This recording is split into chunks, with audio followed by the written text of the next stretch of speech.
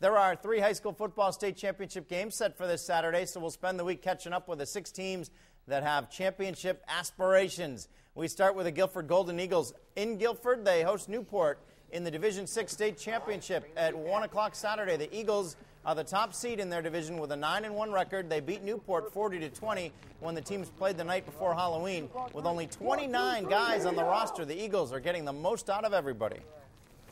Starters play both ways, don't come off the field. I mean, it's all the time. Everyone's working. We got to be in good shape. That's what we did this season. We came, we worked hard, and all those 29 guys did what they needed to do. With the 29 guys, it's it's something that we've really worked hard for this season, and uh, we're not going to let it go too easily. We're not going to go down without a fight. Next up, St. Thomas tomorrow. A couple of high school football playoff uh, games have changed times for this weekend. Milford and Portsmouth will now be Friday night at Portsmouth, Tom Daubney Field. BG game against Keene is now Saturday at 7 o'clock at